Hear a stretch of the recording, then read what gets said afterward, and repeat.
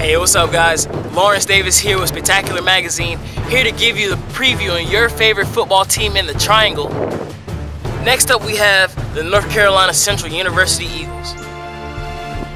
Last year, the Eagles went 9 and 3 with an undefeated 9 and 0 record in the MEAC, including being the MEAC champions.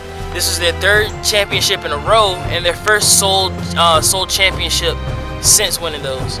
Um, they returned some key guys like running back Ramone Simpson, uh, tackle Nick uh, Leverett, wide receiver Jalen Wilkes, and some guys on defense on like defensive end Antonio Brown and linebacker Reggie Hunter.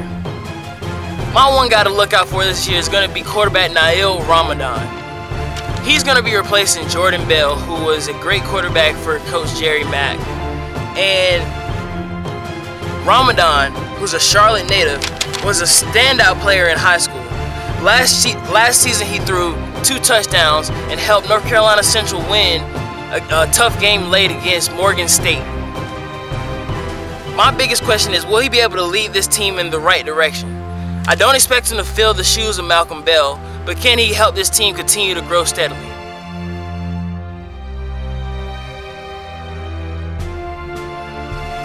I projected I project North Carolina Central University to go 9 and 2 this year.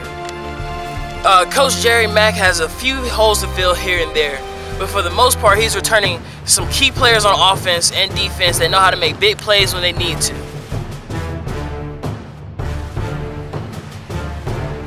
With an explosive running back like Ramone Simpson and guys on the outside like Jalen Wilkes and David Miller, it should help take some pressure off the young guy Nail Ramadan at quarterback.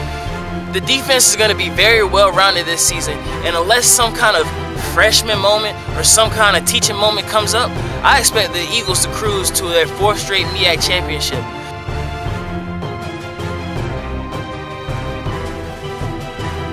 We'll figure out this season. Stay tuned.